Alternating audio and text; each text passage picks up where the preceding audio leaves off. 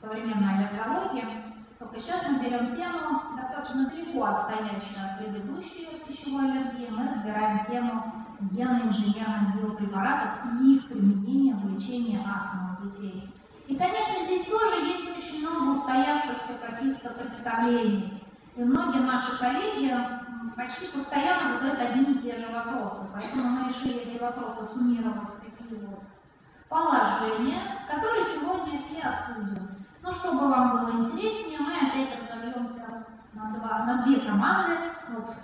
Вот, да, не поднимается язык, представляете моих коллег как а, прокурора и адвоката, это или два прокурора, или два адвоката, все-таки два адвоката, только каждый защищает свою правду. Вот, поэтому они будут как два адвоката в этих шапочках адвокатских, но они поставят на трибунке. А я буду, как судья, только я забыла парик такой, такой с буклями. Поэтому буду просто сидеть со своими естественными волосами. Ну, если все готовы, тогда давайте начнем.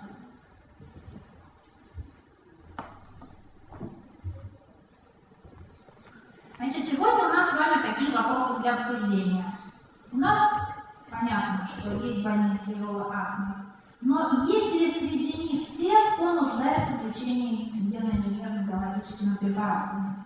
А если нуждаются вообще, рассчитываем ли мы на эффект от их использования? Особенно, например, если вы все прекрасно это знаете, очень часто в качестве триггера или запускающего агента для очередного обострения астмы выступает острая респираторная инфекция. А тут мы этой самой группой генно-инженерных биологических препаратов.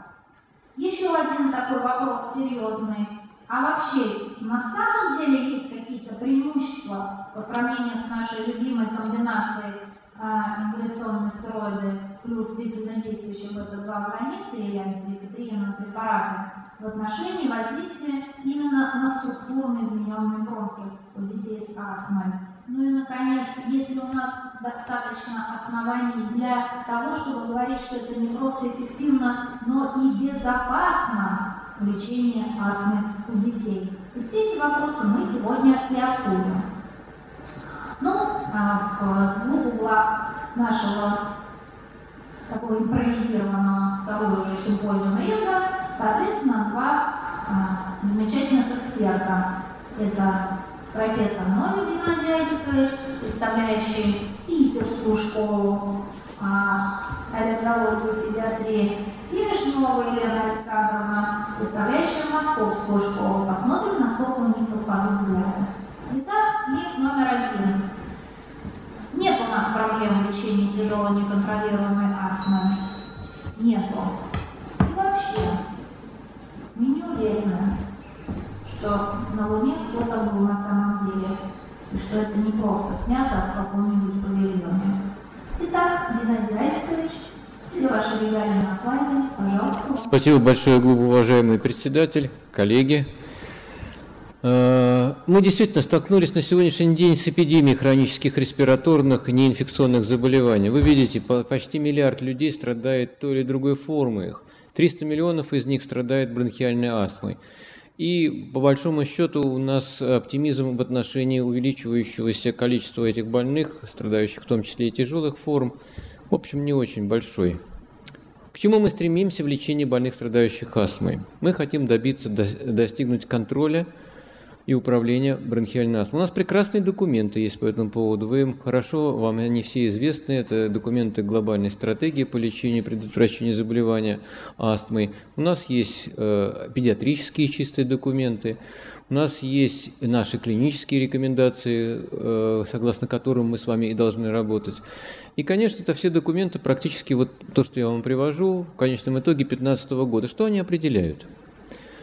Они позволяют нам с вами оценить наших пациентов с точки зрения контроля за течением заболевания, предпринять соответствующие меры для улучшения их состояния и достижения этого контроля. У нас отработаны очень четко те критерии, по которым они, мы, мы действуем. Это критерии когда-то были созданы на основе разработок Батмана, но в конечном итоге они выглядят на сегодняшний день следующим образом. Мы должны оценить дневные симптомы, мы должны посмотреть, э, посмотреть на количество приема препаратов неотложной помощи больше, чем два раза в неделю. Мы должны посмотреть, есть ли ограничения физической активности у этого пациента, ну и, соответственно, с ответами на эти вопросы мы оценим контролируемое, частичное или неконтролируемое состояние. В оценке степени тяжести мы подходим на сегодняшний день тоже достаточно четко и понятно. Мы как оцениваем ее? Тяжесть оценивается ретроспективно по уровню терапии. Когда мы ее оцениваем? Тогда, когда пациент получает эту терапию. Легкая степень тяжести хорошо контролируется на соответствующих ступенях. Что такое тяжелая астма? Тяжелая астма – это требующая четвертую и пятую ступень, то есть средняя или высокая доза комбинированного препарата, плюс какой-либо другой препарат, который позволит добиться еще лучшего эффекта. У нас четко отработаны ступени, по которым мы работаем. И эта тактика себя оправдывает. Мы действительно на сегодняшний день знаем, как поступать в той или другой клинической ситуации. У нас прекрасно есть препараты. Вот посмотреть, это глюкокортикостероиды, которые были революционны в создании лечения таких больных. У них четко отмечен эффект практически на любой фазе воспаления – комбинация этого препарата с длительно действующим бета-2 агонистом и еще увеличивает этот эффект до той степени, что позволяет контролировать заболевание у большей части больных. Результаты этой терапии многолетней, которую мы проводим, приводят к тому, что у них уровень бронхиальной гиперреактивности, которые, по сути дела, и объясняют в дальнейшем возможности рецидива заболевания, обострения его, становятся такими, как у здоровых. Это использование стандартных препаратов, которые мы используем для лечения этих больных. Есть много очень интересных исследований, которые показывают о том, что мы достигаем контроль, используя комбинированные препараты, практически у 80% пациентов. Таким образом, если мы имеем больных с тяжелой бронхиальной астмой или плохо контролируемых больных с бронхиальной астмой, мы у подавляющего большинства больных получаем эффект – с помощью стандартно подобранной нами терапии. Да, лечить надо долго, никто не сомневается. Э, для детей и для взрослых понятно, что эта терапия не может быть рассчитана на какие-то короткие отрезки времени. Мы понимаем, что для взрослых это вообще пожизненная терапия. У детей, у которых отмечалось более легкое течение, возможны какие-то исходы э, при правильной терапии, формирования э, какой-то вот такой ремиссии. Но основная терапия рассчитана на годы. И во всех документах Джины четко прописано, не нужно отменять эту терапию. Эта терапия должна быть пожизненная. Поэтому современные согласительные документы четко регламентируют нашу тактику лечения. Современные препараты позволяют контролировать почти у всех больных э, течение заболевания. Детей, нуждающихся в использовании генно-инженерных препаратов на сегодняшний день настолько казуистически мало, что, наверное, может быть, и нет смысла даже обсуждать это. Ничего себе! А у меня как-то не складывается такого ощущения. Каждый день практически приходят пациенты, которые рассказывают, что им никак не победить и не взять под контроль эту самую астму. Елена Александровна, скажите, что вы думаете по этому поводу? Ну, на сегодняшний день, несомненно, эпидемия хронических заболеваний, она захватила весь мир. Прогнозируется еще более активный рост э, заболеваний к 2025 году. В Европе уже почти 30 миллионов человек страдают астмой. И очень-очень серьезный вопрос – это то, что две трети больных с астмой и 50% с тяжелой формы астмы имеют аллергическую форму. А около 10% больных, больных с астмой имеют тяжелое течение, которое достаточно трудно контролировать, несмотря на назначенную ингаляционную терапию. Да, как мы оцениваем степень тяжести астмы? Тяжелая астма требует четвертую, пятую ступень по Джини, как уже сказал Геннадий Азикович, по тем документам, которыми пользуемся и мы, нашими клиническими рекомендациями. На сегодняшний день очень интересный проект, который э, уже пять лет как стартовал э, в Европе. iBioPred. Не могу о нем не сказать. Это проект, который а, позволит найти объективные маркеры, а, которые помогут нам больше узнать о тяжелой астме, помогут изучить фенотипы и эндотипы астмы и получить новую информацию, идеи, которые могли бы привести к созданию новых эффективных методов. Такие пациенты есть с тяжелой неконтролируемой астмой. И та а, картинка, которую вы сейчас увидели, а, это рисунок девушки, 17 лет, которая э, испытывает ежедневные затруднения, несмотря на то, что около 10 препаратов она вынуждена принимать для достижения контроля над астмой. Но даже на фоне этой терапии, даже на фоне ежемесячных визитов к пульмонологу достичь контроля над астмой ей не удается. Вот а, таким рисунком она а, отобразила свое состояние. Ну, мне кажется, это о многом говорит. А, на сегодняшний день определение тяжелой астмы, оно а, для взрослых это, да, терапия высокими дозами препаратов, это ступени 4-5. Это неконтролируемая астма, характеризующаяся плохим контролем симптомов, частыми или тяжелыми обострениями. Контролируемая или неконтролируемая астма на высоких дозах ингаляционных глюкортикостероидов или даже э, оральные формы глюкортикостероидов с высоким риском побочных эффектов. На сегодняшний день у нас есть еще такой важный документ, э, объединенный Американского таракального общества и Европейского респираторного общества, который э, также говорит нам о том, что тяжелая астма есть, и э, он дает нам определение, в соответствии с которым, конечно, мы понимаем, что такие пациенты есть, и неконтролируемой астмы достаточно много. На сегодняшний день ежедневные высокие дозы ингаляционных глюкортикостероидов они назначаются достаточно часто. Флутиказонопропионат, высокая доза по флутиказонопропионату для возраста 6-12 лет – это более 500 микрограмм и более 1000 микрограмм для детей старше, для пациентов старше 12 лет. А, по фенотипом астмы, конечно, тяжелая астма – это а, сложность контроля достижения лечения. Но нужно помнить о том, что тяжелая астма может быть контролируемая, а неконтролируемая астма, она не обязательно тяжелая. На сегодняшний день контроль – это степень, с которой мы контролируем симптомы астмы или связанные с ней функции за счет назначенной терапии. Как правильно дифференцировать неконтролируемую астму от тяжелой? Тот документ, который Геннадий Азикович уже упомянул, четко нам говорит об этом. Мы проверяем и технику ингаляции, и приверженность к лечению, подтверждаем диагноз астмы, если мы сомневаемся, если это необходимо, устраняем потенциальные факторы риска, оцениваем тяжесть сопутствующих заболеваний.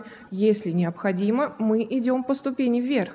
Но в случае, если мы перешли на ступень, даже самую высшую, нам нужно подтвердить диагноз тяжелой астмы. И если астма не контролируется на четвертой ступени в течение 3-6 месяцев, а, нужно, конечно, подтвердить, что это реально тяжелая астма, и она действительно неконтролируемая. А, на сегодняшний день процент пациентов с хорошо контролируемой и неконтролируемой астмой по данным а, европейским вы видите, что нет хорошего контроля у достаточно большого процента пациентов. При этом достигают хороший контроль, а, ну, даже меньше половины пациентов. Таким образом, по данным, по наблюдениям различных сообществ, мы видим, что на территории Российской Федерации а, более 54% пациентов не достигают контроля над астмой. В Соединенных Штатах Америки примерно те же цифры. Для Европы 51% а, неконтролируемой астмы и 21% частично контролируемой. Зачастую мы сталкиваемся с ситуацией, когда больные переоценивают свой контроль над астмой. А, они считают, что они контролируют астму, но на самом деле это может быть не так. И это показало нам достаточно известное исследование, в котором 40% больных с неконтролируемой астмой действительно считали, что хорошо или полностью контролируют свою астму. Кроме того, в плане назначения ингаляционных глюкортикостероидов, назначая высокие дозы, повышая дозировку ингаляционных глюкортикостероидов, мы помним о том, что эффект достигается лишь до определенного уровня, и в дальнейшем повышение дозы базисной терапии именно ингаляционными глюкортикостероидами не приводит к увеличению эффекта.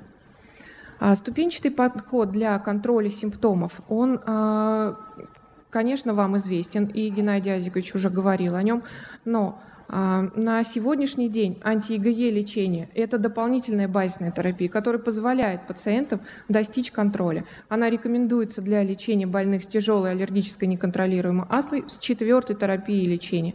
Эта рекомендация имеет уровень доказательности А.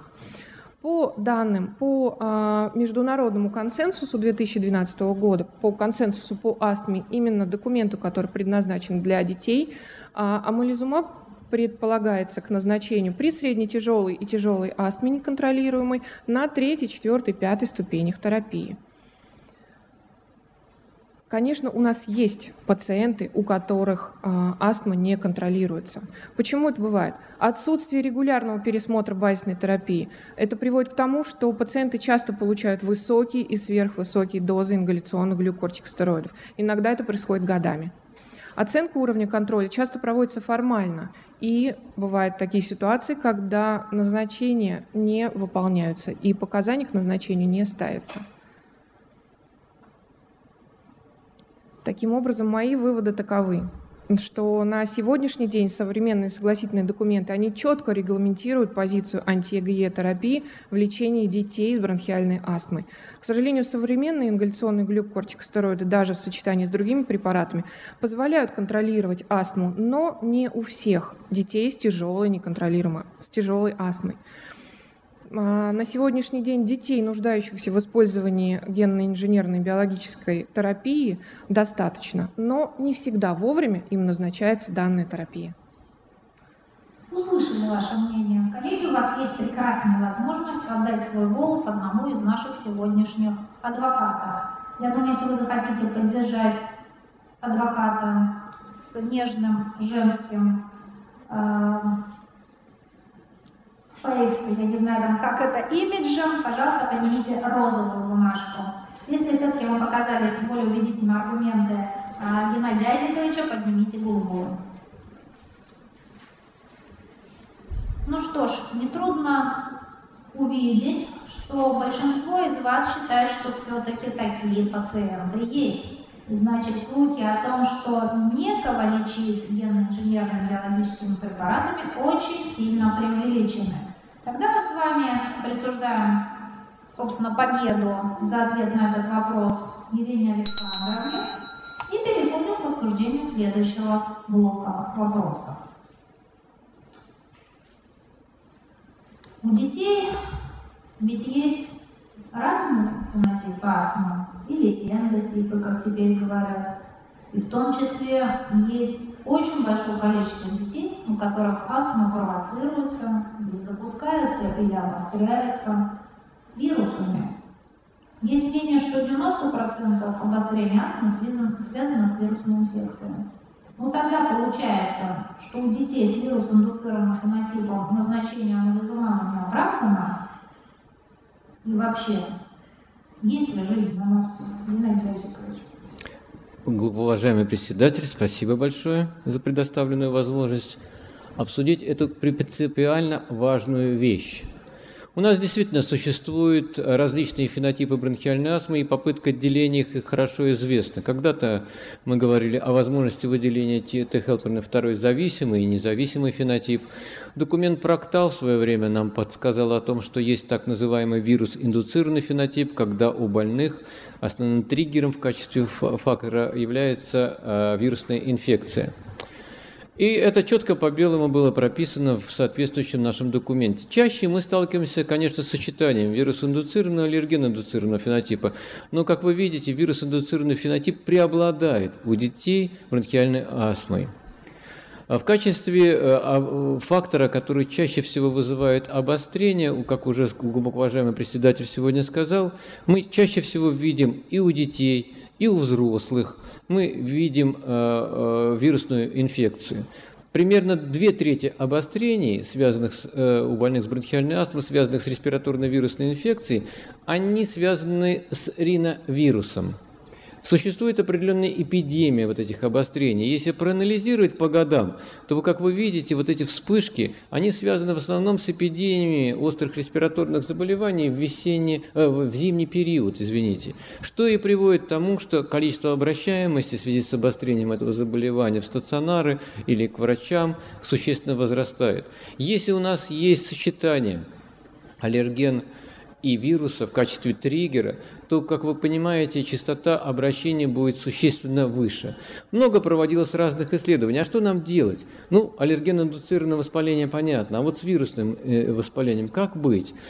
Проводилось много разных исследований, в том числе и на добровольцах, где было показано, что и Вирусная инфекция по своему механизму воздействия, она очень похожа на воздействие, связанное с аллергеном, потому что то аллергическое воспаление, которое есть у больного, оно усиливается под влиянием этих вирусов. То есть формируется тот же самый провоспалительные цитокины, которые усиливают воспаление у больного, страдающих вирусной инфекцией. Так что же нам делать, если у него имеет место сочетание, например, аллерген-индуцированного вируса, индуцированного фенотипа? На это ответила прекрасная работа, которая показала нам, что увеличение дозы топических глюкокортикостероидов в такой ситуации существенно уменьшает обострение на фоне вирусной инфекции у этих больных. То есть мы сможем оказать ему помощь и добиться контроля, лишь изменив ему эту терапию.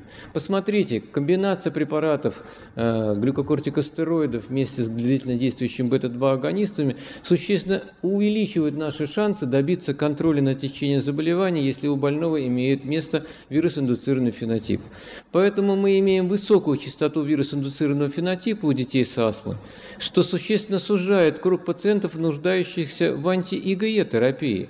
Патогенетическое значение ИГЕ антител у детей с вирус-индуцированным фенотипом не доказан. И целесообразности в назначении анти-ИГЕ в такой ситуации какая? Зачем? Мы и так прекрасно справляемся. Как вы хорошо что сформулировали. Пожалуй, вы меня почти убедили. Ну, я так на всякий случай еще Елену Александровну послушаю. Совершенно верно, Геннадий Азикович. Конечно, вирус-индуцированная астма, она есть, но большое количество пациентов это сенсибилизированные пациенты, и атопической астмы у нас достаточно много. Тяжесть обострения на фоне риновирусной инфекции зависит и от тяжести и уровня контроля над астмой. Такие исследования есть, и они четко об этом свидетельствуют. А цитокиновый профиль, индуцируемый в условиях инвиво под влиянием риновирусных, а, риновирусов, а, он изменялся только у больных с астмой. Это также показало это исследование. Кроме того, у нас есть наблюдение, хорошо всем известный, эффект амализумаба, антиэготерапии и сезонное обострение астмы. И мы видим, насколько количество сезонных обострений на фоне Э, использования амализумаба, насколько они уменьшились. Кроме того, есть а, очень хорошие работы, которые выдвинули несколько гипотез, а именно две предполагаемого механизма действия именно амализумаба, антиэготерапии при неатопической астме. А, первая, собственно, гипотеза свидетельствует о том, что локальная аллергия и локальный уровень ИГЕ у таких пациентов, он повышается. И анти-ИГЕ-терапия позволяет снизить уровень а, местного локального уровня иммуноглобулина Е и таким образом уменьшить количество обострений у пациентов с неатопической астмой. Еще один предполагаемый механизм действия при неатопической астме, он также был выдвинут в этом же а, исследовании, в, этом же, в этой же публикации. Он очень хорошо описан. Вторая гипотеза говорит о том, что да, несомненно, у пациентов с неатопической астмой есть э, изменение иммунного ответа. И, собственно говоря, антивирусная активность, она достаточно снижена. При этом высокоафинный рецептор к иммуноглобулину Е, он достаточно повышен. При этом анти-ИГЕ-терапия, которая назначается таким пациентам, она позволяет уменьшить обостре... количество обострений у таких больных с неатопической астмой, повысить антивирусную активность и э, снизив э, количество высокоафинного рецептора иммуноглобулина Е. Таким образом, я хочу сделать вывод, что дети с вирус-индуцированным фенотипом астмы также чувствительны к анти-ИГЕ-терапии. Возможно, будут еще исследования, которые более четко позволят нам э, понять механизм действия. Но на сегодняшний день доказано, что частота обострения астмы в ежегодные эпидемиологически неблагоприятные по респираторным инфекциям сезоны под влиянием анти-ИГЕ-терапии четко снижается. Товарищи, давайте голосовать. Розовый за мнение Елены Александровны, голубой за мнение Геннадия Расисовича. Вы должны мне помочь определиться с выбором. Поднимите, пожалуйста, выше, потому что мнения разделились. Мне надо пересчитать. Розовая Елена Александровна, мнение. Зеленый он или желтый, какой зелененький. Просто не отсюда кажется, что он желтый, извините. За мнение Геннадия Олеговича. Да, примерно пополам. 48 на 54. 54 за Елену Александровну, 48 за Геннадия Олеговича. Но на самом деле, действительно, у нас есть эффект от применения амализумаба даже у о, пациентов, где как будто бы очень выражен инфекционный компонент. То есть помимо опыта с детьми с бронхиальной астмой, которые есть лично и у Елены Александровны, ну, у всей нашей клиники, у нас есть опыт совершенно уникальный. Мы использовали этот препарат у детей с муковисцидозом, там, где был аспергиллез, и там, где не было вообще других шансов каким-то образом помочь им. Такие работы тоже есть о возможности применения у пациентов с такой патологией. Непонятен э, механизм никто не может описать за счет чего, но клинически потрясающий эффект. То есть эти дети, сколько они там, почти год, по-моему, да, были без обострений. Год без обострений дети, которые до этого госпитализировались каждый месяц с жутчайшими обострениями на фоне различных инфекций. Вот, поэтому а, у этой темы есть, безусловно, продолжение. То есть на сегодняшний день мы пока можем только констатировать в отношении детей с астмой, пациентов с астмой детского возраста, что даже если в качестве триггера выступает респираторная инфекция, но это астма, у них амализумаб будет эффективен, а в будущем, я думаю, у нас появятся дополнительные сведения позволяющий нам его применять даже и еще у других категорий пациентов. Поэтому на самом деле ответ а, в пользу мнения Елены Александровны, именно об этом я хочу вас уведомить. Следующий вопрос. Миф номер три. Ремоделирование. Вот чего мы боимся. Ремоделирование дыхательных путей, когда пути назад уже не будет. И возникает законный вопрос, а вообще базисные препараты, используемые в терапии бронхиальной астмы, они в какой степени могут предотвратить ремоделирование дыхательных путей? Давайте не просто помечтаем, давайте разберемся в этом вопросе. Пожалуйста, Геннадий Осипович. Глубоко уважаемый председатель, спасибо за возможность обсудить эту проблему. Нам хорошо известны структурные изменения респираторных путей у больных с бронхиальной астмой. Это безусловный субэпителиальный фиброз, это гладкая гипертрофия гладкой мускулатуры дыхательных путей, увеличение сосудистой, то есть так называемый ангиогенез, это гиперсекреция слизи. Это хорошо изученные на сегодняшний день и доказанные вещи. Действительно, именно у больных с бронхиальной астмой мы видим утолщение базальной мембраны, эзинофильную инфильтрацию, которые и объясняют в конечном итоге формирование структурных изменений. Ремоделирование дыхательных путей у детей с различными вариантами обструкции по-разному наблюдается. Именно те дети, которые формируют астму, они очень склонны к тому, чтобы быстро перестроить свою структуру стенки бронхов, и это действительно факт, который требует безусловного раннего назначения базисной терапии с попыткой остановить этот процесс. Многие вирусные инфекции могут запускать этот процесс даже на стадии тогда, когда в самом первой появляются рецидивирующие бронхообструкции. И именно те больные, у которых имеет астма, этот процесс становится неуклонным. В отношении препаратов, которые мы используем в качестве базисной терапии, есть много экспериментальных исследований и даже клинических исследований, где было показано, что когда мы назначаем топические глюкокортикостероиды или комбинированные препараты, они существенно предотвращают возможность формирования э, вот этой необратимой стадии. Именно назначение топических глюкокортикостероидов в этой ситуации могут существенно изменить прогноз течения заболевания. Аналогичные данные были получены в этом случае в экспериментальном исследовании на мышках, где было показано значение антиликотриенов препаратов в сочетании с глюкокортикостероидами существенно предотвращали возможность формирования ремоделирования дыхательных путей.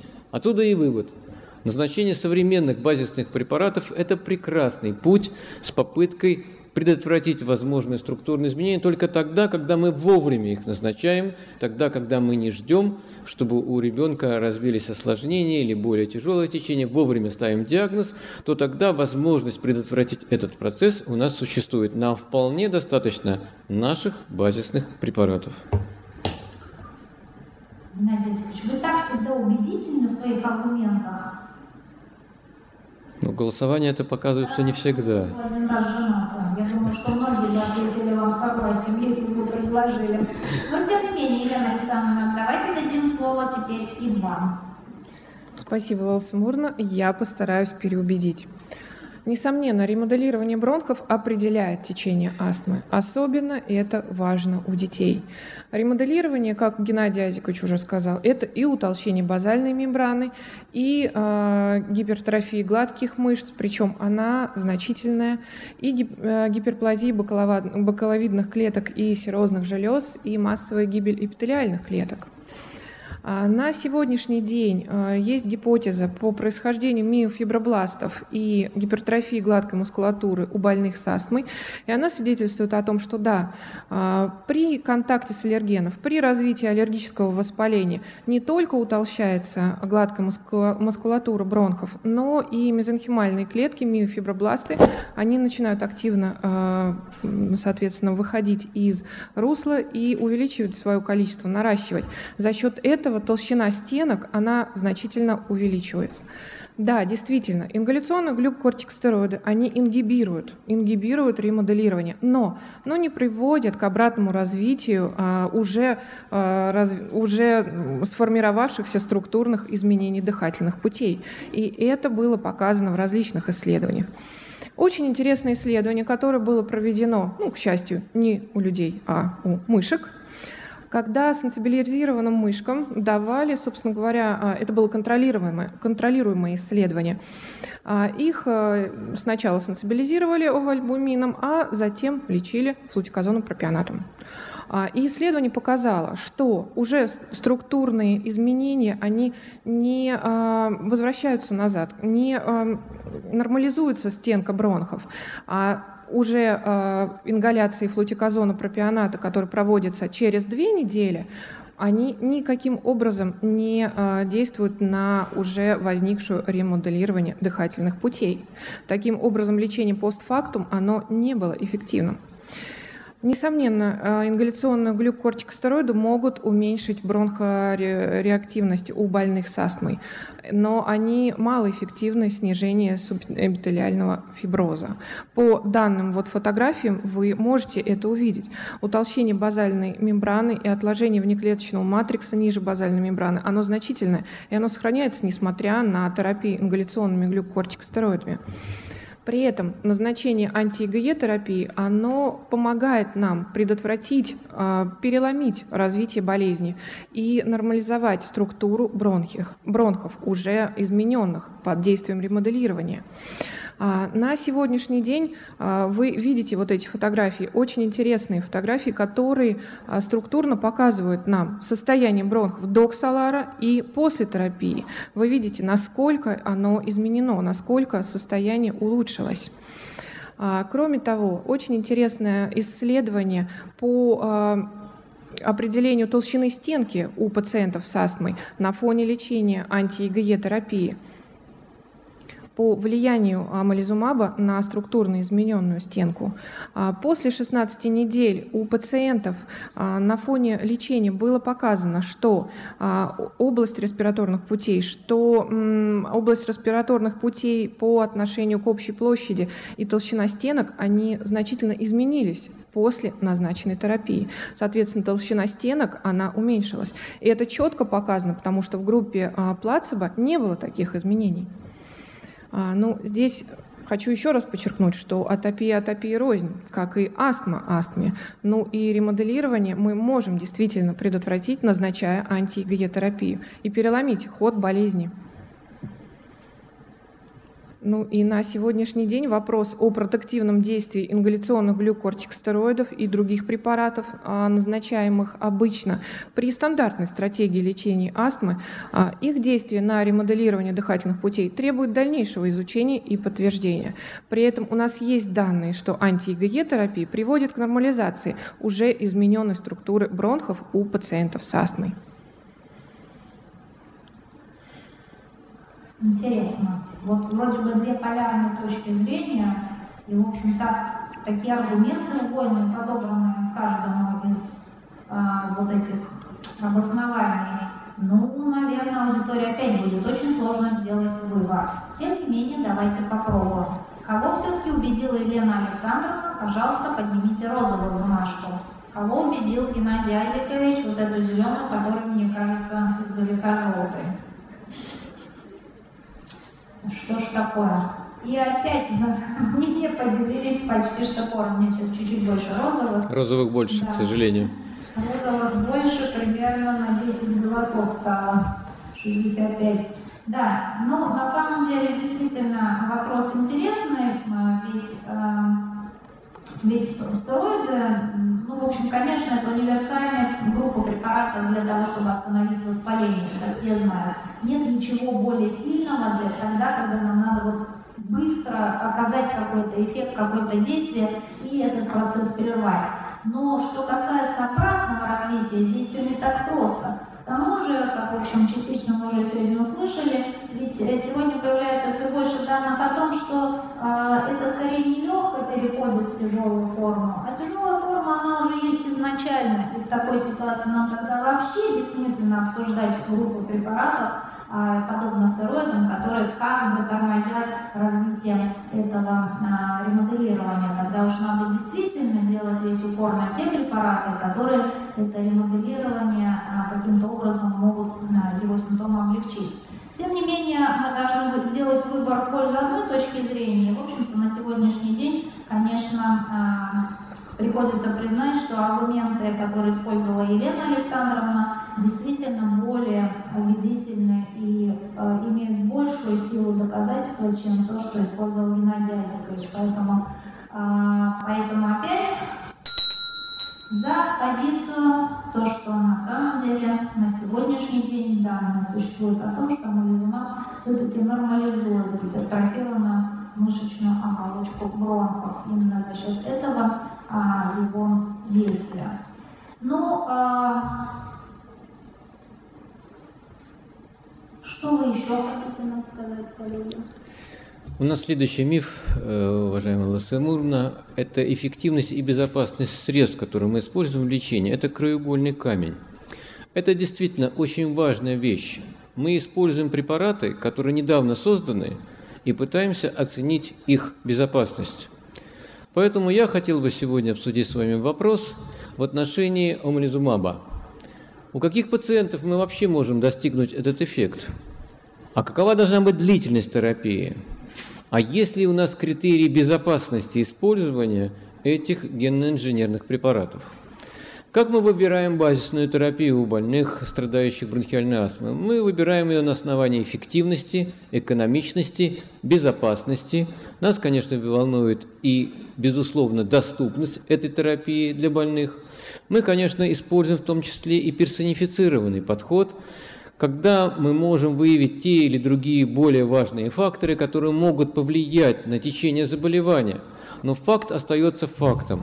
Мы используем те препараты, которые есть показания к лечению таких больных в том регионе, где есть доступность к этой терапии. И главное, э, то, что мы получаем или не получаем эффект. А можно ли предсказать эффект от амулизумаба? Мы можем быть уверены, что взяв этого ребенка на эту терапию, мы получим долгожданный эффект по контролю. Вот очень интересная была работа, проведена в свое время в Германии. Смысл ее заключался в следующем. Назначались э, больным, 22 больным с тяжелой атопической астмой аболисумаб 4 месяца. В этой работе была использована уникальная методика определения свободного иммуноглобулина Е в сыворотке. Когда берется ребенок на терапию анти препаратами, дальнейшее изучение уровня сывороточного обычными методами ИГЕ не проводится, потому что мы получаем ложные результаты. Здесь была специально разработана методика, которая позволяла выявить те оставшиеся ИГЕ, которые не оказались связанными с ксаларом. Что они получили?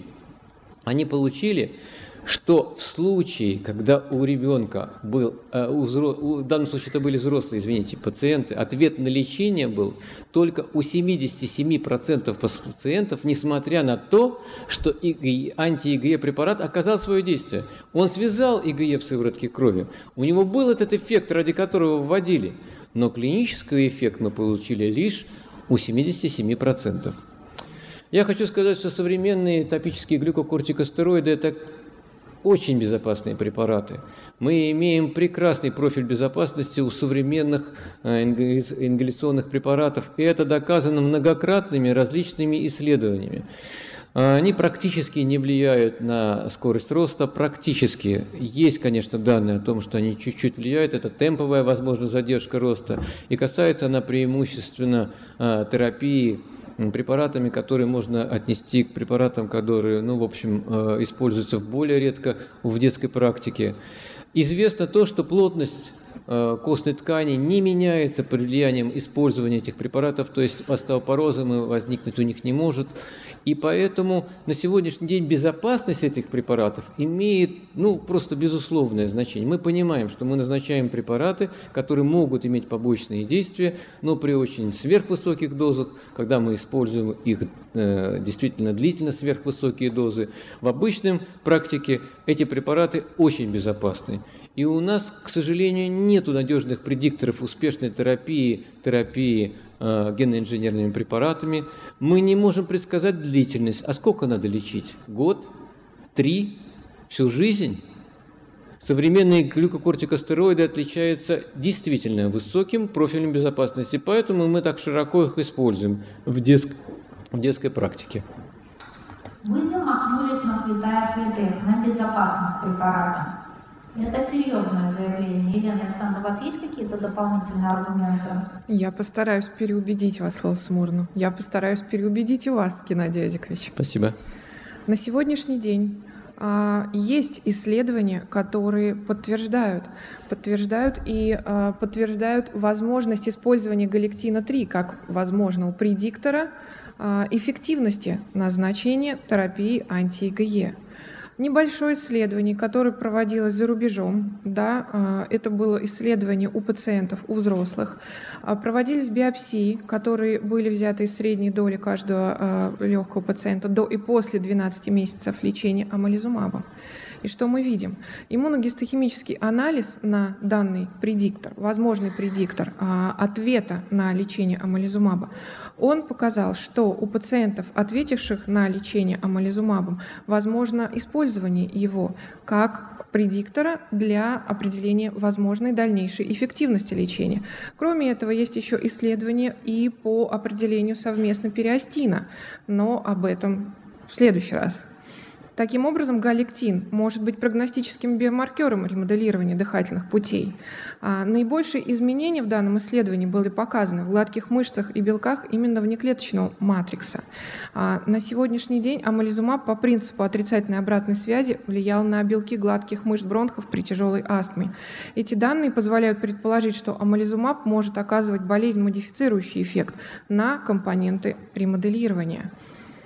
А на галектин – белок межклеточного вещества, и он может быть использован, использован таким образом именно для прогнозирования эффекта назначения амализумаба.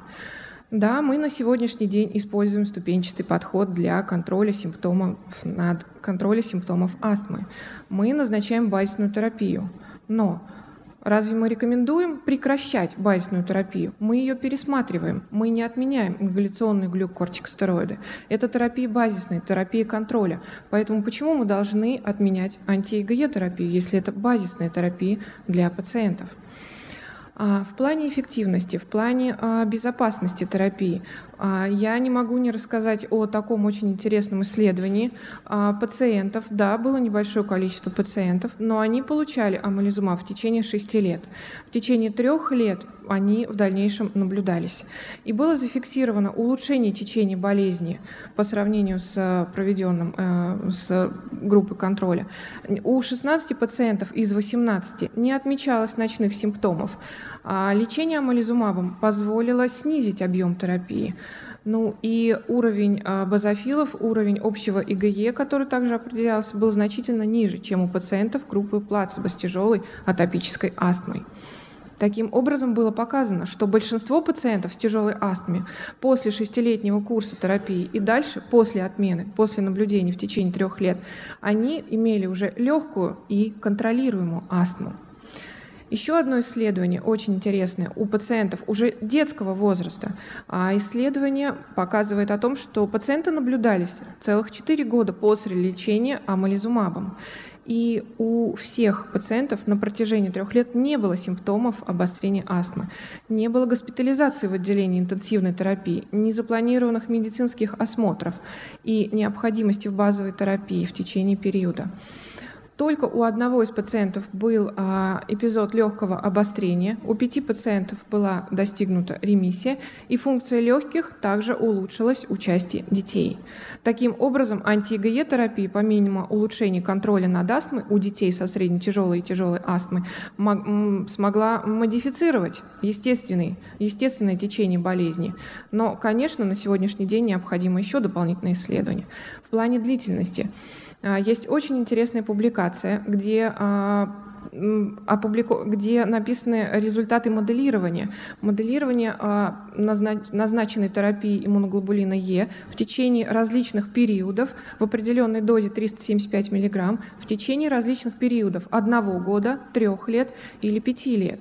Было показано, что продукция иммуноглобулина Е уменьшается на фоне течения, на фоне самого лечения а, всего периода. И чем дольше период лечения, тем на более длительный длительный срок а, это лечение позволяет снизить уровень иммуноглобулина Е, и этот эффект пролонгирован, даже остается после прекращения лечения.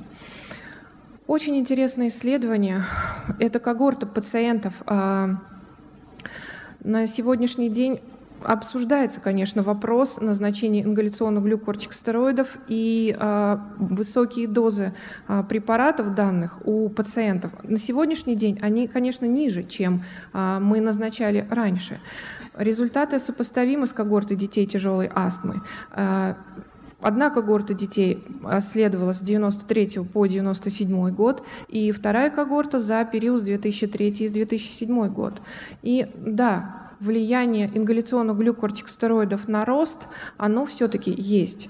И разница в снижении скорости роста между средними и низкими дозами ингаляционных кортикостероидов составляет на сегодняшний день 2 миллиметра. А, исследовалось большое количество а, наблюдений и огромное количество пациентов с легкой и средне-тяжелой астмой. И дети получали разные ингаляционные глюкортикостероиды, но эффект на рост не зависел от самой молекулы ингаляционного глюкокортикостероида. Еще один систематический обзор, который показывает на влияние а, на скорость роста у пациентов с астмой, а, в общем-то, также говорит нам, что использование длительное ингаляционных глюкокортикостероидов а, может снизить скорость роста. Поэтому нужно помнить о том, что пациенты, получающие базисную данную терапию, должны обязательно регулярно контролировать этот объем. Таким образом, на сегодняшний день есть еще и а, Кохрановский обзор, который показывает, что амализумаб эффективен и безопасен у пациентов со средне-тяжелой и тяжелой астмой, неконтролируемой на средних и высоких дозах ингаляционных глюкортикостероидов. Да, на сегодняшний день продолжается активный поиск различных а, возможных предикторов успешной терапии астмы. Это может быть и галектин-3, и периостин, и какие-то другие молекулы. А, накопленный опыт использования данного препарата в реальной клинической практике, он позволяет нам сделать вывод о высоком уровне безопасности применения его у пациентов детского возраста со средне-тяжелой и тяжелой астмой. Спасибо, Елена Александровна. Действительно, такая тема сейчас, в общем, тяжелая для нас. Мы ведь с вами, я бы сказала, даже, наверное, не одно десятилетие входили вот в эту тему с ингаляционными стероидами, током, и как будто бы успокоились, что там абсолютно безопасно, как-то дошли новые исследования, и мы поняли, что все-таки мы должны быть очень предельно внимательны в этом вопросе. Еще обратите внимание, ведь все эти исследования берут какого-то детей, которые дышат правильно, то есть правильно используют технику ингалирования, а если она нарушается, вы сами знаете, сколько возможных системных эффектов мы еще получим. Но тем не менее, а, вопрос о безопасности нового препарата, он тоже не случайен. Каждый из нас понимает, на поле, где используются совсем новые, полученные иным путем, очень технологичным, высокотехнологичным, генно-инженерным путем препараты, мы, конечно, еще с большей опаской э, смотрим на их профиль э, безопасности, на соотношение эффективности безопасности. Поэтому любой из аргументов, который сегодня был представлен, он, конечно, нами воспринимается с э, таким повышенным вниманием и, безусловно, переоценивается много раз. Поэтому сегодня, вот сейчас, отвечая для себя на этот вопрос, пожалуйста, вновь еще раз помните все, что рассказали сегодня Геннадий Айзекович и Елена Александровна, и подумайте, достаточно для, для вас на сегодняшний день, вот сегодня было доказательство того, что накопленный опыт и научный, и практический говорит о высоком уровне безопасности нового геноинженерного препарата и о том, что мы можем его спокойно применять наших пациентов детского возраста со средне-тяжелой и тяжелой астмой. Пожалуйста, давайте проголосуем. Кто все-таки считает, что нам достаточно этих данных? Поднимите розовые листочки. Кто сомневается, поднимите зелененькие. Коллеги, придется выразить свое мнение, потому что те, кто ничего не поднимает, нам портят статистику. С небольшим перевесом, но розовые делают. Хотя, к сожалению, очень многие не поднимают вообще листики, поэтому это, конечно, не совсем достоверное голосование.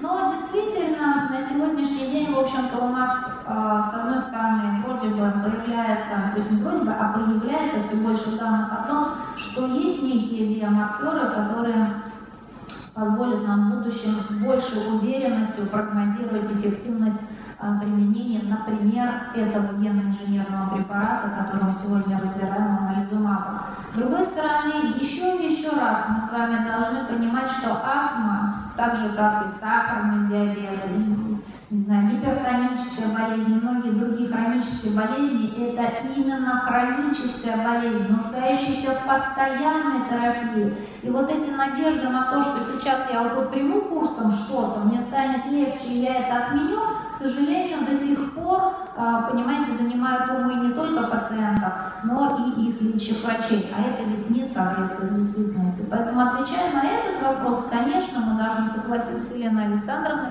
что у нас на сегодняшний день, в общем-то, весьма убедительные данные о безопасности препарата, и у нас есть перспективные биомаркеры, которые мы будем а, применять.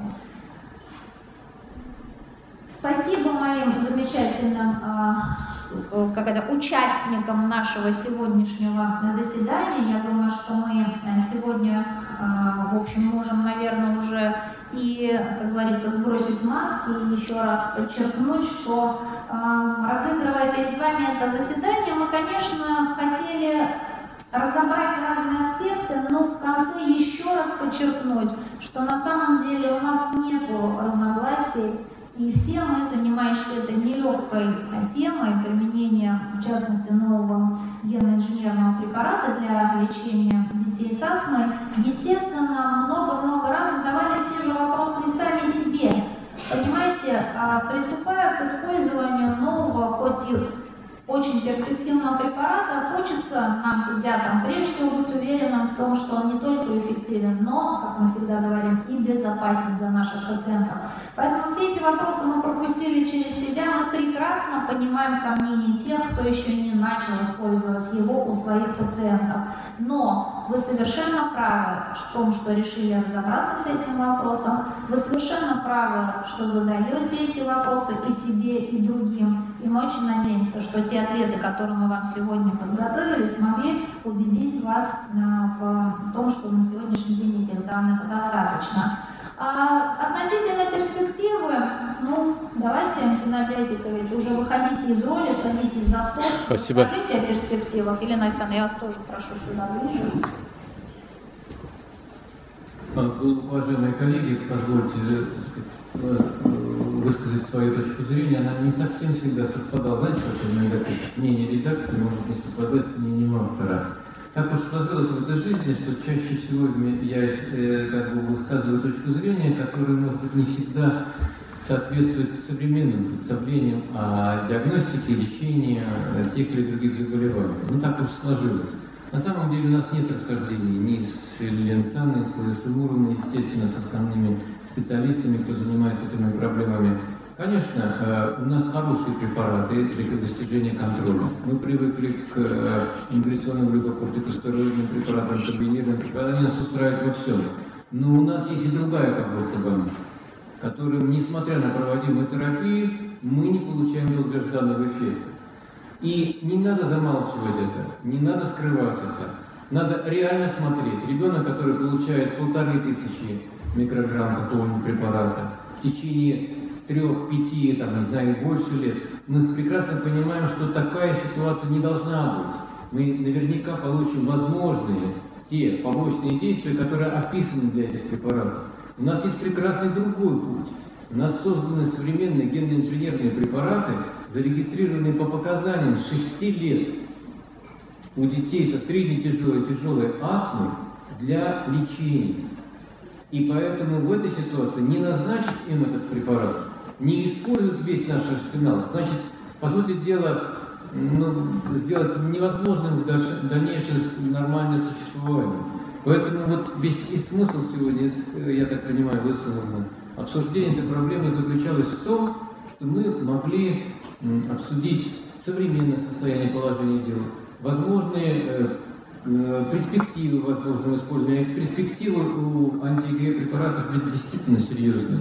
Мы знаем, как мы успешно лечим больных, у которых так называемая гепатическая крапивница, и мы получаем эффект на анти препаратах. Вы сегодня упомянули прекрасный эффект у больных с муколисцидозом. Вы же знаете последнюю э, попытку создания классификации аллергических ринитов, где на четвертой ступени выделяется целая группа больных э, с персистирующим ринитом хроническим, ну, извините, персистирующим аллергическим ринитом, в котором, по, мнению специалистов, возможно, будут поставлены когда-либо показания к использованию ТГЕ. Это действительно уникальный препарат. Мы э, сталкиваемся с ситуацией, по сути дела, безальтернативного, да, на сегодняшний день возможно использование э, аналогичных препаратов. Поэтому не использовать это нельзя. И второе, что я хотел бы заметить, что надо видеть этих больных, надо пожелать их увидеть. Надо войти, войти буквально в шкуру этих пациентов, их родителей, которые хотят увидеть перспективу. У научного центра здоровья детей колоссальный накоплен опыт по использованию антибиопрепаратов.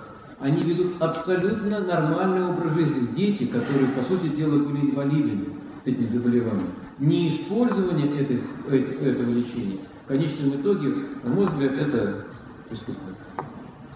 Спасибо, Геннадий Айзекович. Ильяна Александровна, будете добавлять что-то? Ну, я только хочу два слова буквально сказать, что действительно те вопросы, которые сегодня озвучил Лэлс Мурна, те ответы, которые мы подготовили, а, мы предположили, что это именно те вопросы, которые могут беспокоить вас. Те вопросы, о которых вы задумываетесь, назначить или не назначить эту терапию. Очень хочется надеяться, что теперь у вас все-таки сомнений не будет. Спасибо. Э, я согласна с Геннадием Азиковичем и с Еленой Александровной. Мы идем по нелегкому пути назначения длительной терапии пациентам, которые не всегда чувствуют себя плохо. Мы же с вами прекрасно понимаем, что астма это такой очень, да, такой как, волнообразный процесс. Это так же, как с антибиотиками. Как только человеку с температурой становится лучше, он тут же бросает антибиотик, потому что ему кажется, что он уже поправился. Чисто психологически человеку очень тяжело продолжать принимать препараты тогда, когда его состояние, например, уже вроде бы стабильное. И вот эта э, комплаентность и, собственно, э, следование нашим э, приверженность нашим рекомендациям – это большущая проблема современной медицины, когда уже вроде и препараты есть хорошие, и рекомендации составлены, и доктора обучены, и вроде бы все одно и то же назначают, но одни пациенты это принимают, а другие нет. В этой ситуации, конечно, появление нового класса препаратов, который в том числе помогает уменьшить объем другой медикаментозной терапии, это тоже очень важно, потому что это всегда повышает приверженность назначенной терапии, когда объем или кратность снижается, или количество препаратов снижается, это однозначно идет в плюс, особенно если речь идет о детях маленького возраста. Еще раз повторюсь, мы, безусловно, очень благодарны создателям и производителям ингаляционных стероидов, потому что это, конечно, абсолютно иная эра в аллергологии. С тех пор, как они появились, ушли в прошлое эти жуткие капельницы многочасовые с какими-то невероятными сборами, да, с которых мы начинали. И, собственно, до сих пор, вот клянусь, иногда по ночам, когда просыпаюсь, меня мучает вопрос, как эти несчастные дети все выживали после этих всех жутких капельниц, когда всем известно, что сочетание в одном флаконе, например, там, клоргликона с целлофилином, который мы все время наливали, да, это вообще остановка сердца фактически моментально. Вот. Тем не менее, действительно, э, несколько последних десятилетий, к счастью для нас, э, мы имеем в своем арсенале потрясающие препараты, инъекционные стероиды, но у них есть обратная сторона, мы не должны о ней забывать. И неправильное использование этой группы препаратов тоже чревато различными неприятностями. Никто не говорит о том, что а, применение генно-инженерного препарата сразу же уводит вас от другой терапии. Естественно, об этом речи не идет. Мы, может быть, а, хотели бы продемонстрировать и более, когда наступление более быстрых и однозначных ответов, как, например, при ревматических болезнях, да, когда мы буквально после первой же инъекции получаем там лихорадку уходит, сустав весь это опухший раз, сдулся, и вообще ребенок чуть ли не сразу побежал.